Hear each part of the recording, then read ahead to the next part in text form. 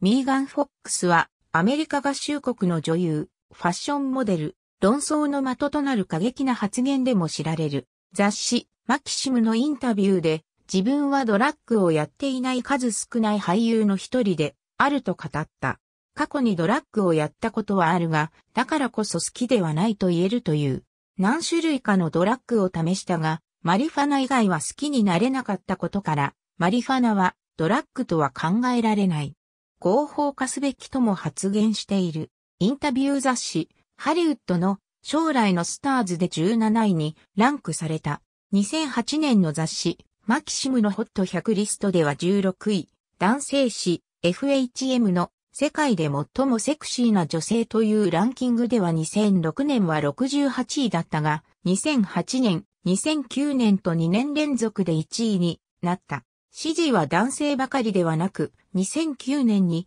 イギリスのセレブリティ情報雑誌ヒートが行ったアンケート女性が羨むボディで1位に選ばれた。この結果は同志にとって驚くべきものだったようである。米国テネシー州、ロックウッドにて、アメリカインディアンフランスアイルランドの血を引く両親の間に生まれた。姉、妹、弟がいる。両親は離婚しており、実母とママ父によって育てられた。5歳の時からテネシー州のキングストンでダンスや演劇のトレーニングを始めた。キングストン小学校の合唱団にも参加した。10歳でフロリダ州セントピーターズバーグに移り住んだ後もトレーニングは続けた。13歳の時にサウスカロライナ州で行われた女優、モデルの大会で数々の賞を受賞し、以来モデルや女優活動を始めた。2001年、16歳の時に映画、ホリデー・イン・ザ・サンで映画初出演。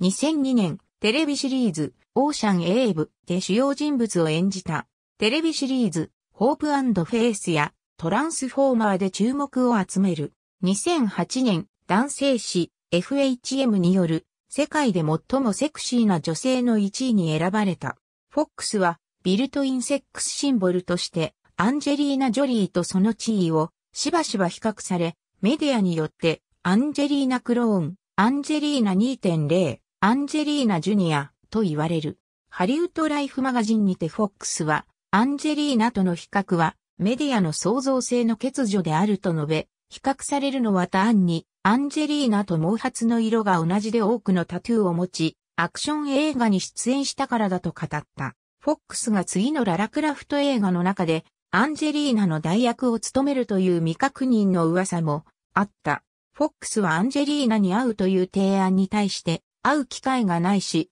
会うのが怖いので会うのを避けている。彼女は強力な人です。そして彼女が私を食い物にするのは間違いありません。私は彼女が私が誰かわからないことを確信していますと極めて弱気な発言をしている。また、バイセクシャルである彼女はアンジェリーナは理想の恋人であると述べ、誰かと別れるたびに、もしもアンジェリーナの恋人になれたら、私はすごく幸福なのにと思う。彼女が大好き。尊敬しているし、米国で一番好きな女優。信じられないほど正直なところが大好き。自分自身でいることを恐れていないし、思っていることをはっきり口にするでしょうと語っている。アンジェリーナにはある程度の敬意を持った発言を行ったが、同じく、セックスシンボルとして比較されがちな、スカーレット・ヨハンソンに対しては牽制する発言を行っている。出世作となった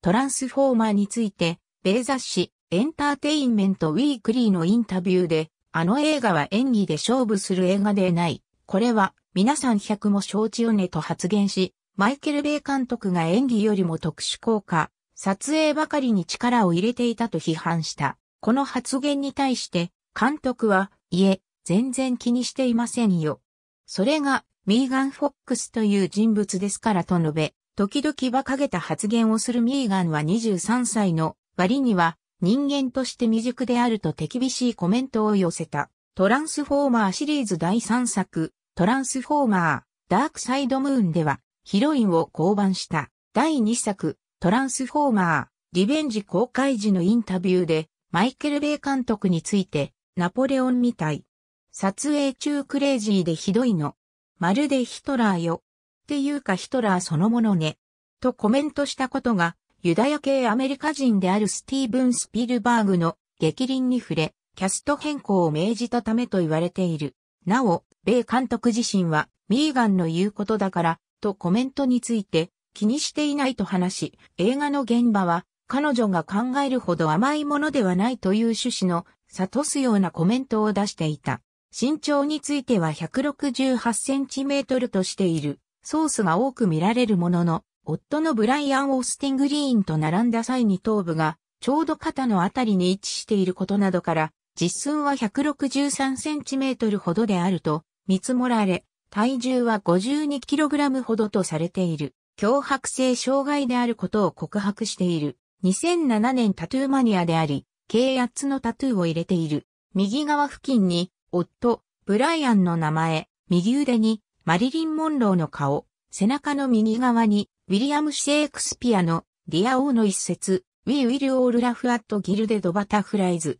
there once was, a little girl who never knew love until, a boy broke her heart と漢字で力、右手首の内側に、太極図、足首より上の下足の内側に5つの尖った星が重なっている三日月などがある。対極図のタトゥーは消すつもりだと述べていたが、現在も残されている。2009年5月にジョン・カイ・ケネディ国際空港でパパラッチに新たなタトゥーを入れるつもりだと明かした。しかし、母親ダーレンはこれに反対し、ミーガンが40歳になって熟年の役を演じたくなった時にタトゥーをカバーするのが大変だという理由で役がもらえなくなると思っていると伝えられている。2009年6月に出演したテレビ番組ザーリーショーの中で自分の恋人となる条件にタトゥーがあることを挙げている。2004年のテレビ番組共演をきっかけに、俳優のブライアン・オースティング・リーンと交際に発展し、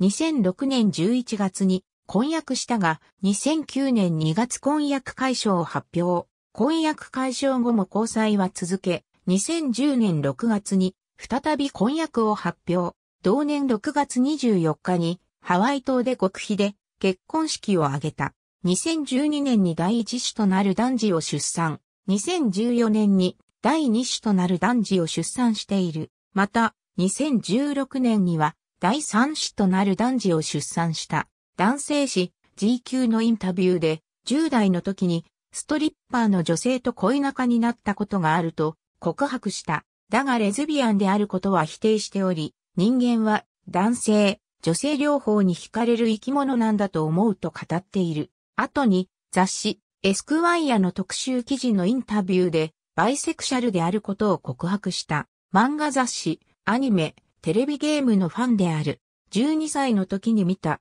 テレビアニメがきっかけで、エム・ターナーが大好きになり、最も好きな漫画はホックスが、長年の脅迫観念のうちの一つと語る、ファゾム。日本の漫画、アニメにも関心を示しており、トランスフォーマーの日本公開時に受けたインタビューで、カウボーイビバップが大好き。トットコハム太郎やセーラームーンは今でも見ているし、漫画も描けますと発言している。また、ミュータント・タートルズの日本公開時に受けたインタビューでは、新機動戦記、ガンダム W を見て育った日本に来ると本屋をめぐって漫画砂取りをする美少女戦士、セーラームーンを実写化した場合、